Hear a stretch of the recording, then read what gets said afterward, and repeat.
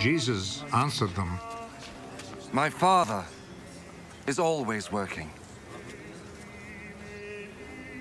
And I too must work. This saying made the Jewish authorities all the more determined to kill him. Not only had he broken the Sabbath law, but he had said that God was his own Father, and in this way had made himself equal with God. So Jesus answered them, I tell you the truth. The Son can do nothing on his own. He does only what he sees his Father doing. What the Father does, the Son also does. For the Father loves the Son and shows him all that he himself is doing. He will show him even greater things to do than this, and you will all be amazed! Just as the Father raises the dead and gives them life, in the same way the Son gives life to those he wants to. Nor does the Father himself judge anyone.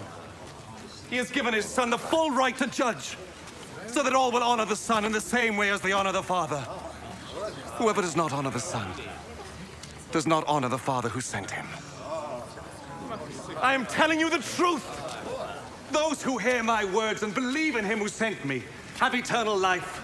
They will not be judged, but have already passed from death to life. I am telling you the truth. The time is coming.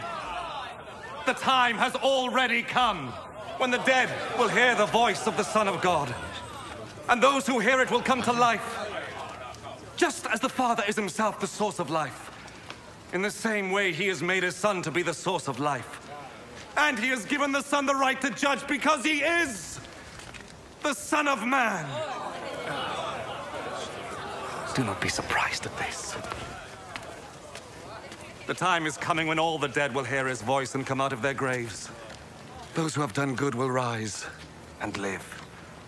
And those who have done evil will rise and be condemned.